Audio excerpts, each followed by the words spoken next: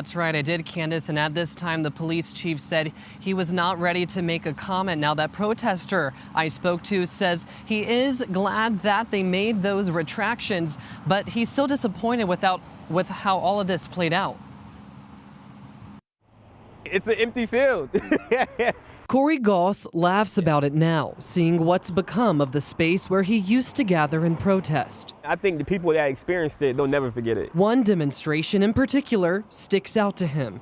It was June 1st, 2020. We had just got done protesting from Broad Street and we're walking up. Big crowd. Goss says he was standing on the pedestal of the Robert E. Lee statue, speaking out against racial injustice and police brutality following the death of George Floyd. And, and they kept saying repeatedly from the stage, the monument they were standing on, was that we're here for love, we're here for unity. And then, seemingly out of nowhere, Goss says Richmond police officers show up and tear gas the crowd. I was scared for my life, and I was coughing and sneezing um, running at the same time, trying to make sure the people that I'm with are okay. And it was just like chaos. At the time, Richmond police tweeted they had to deploy gas because, quote, some RPD officers in that area were cut off by violent protesters. We were peaceful. We didn't do anything wrong. We were well within our rights. And now RPD admits on Twitter their previous statement from two years ago is false, and there was no need for tear gas. The retraction ordered in a lawsuit settlement between protesters and the city of Richmond. Why would you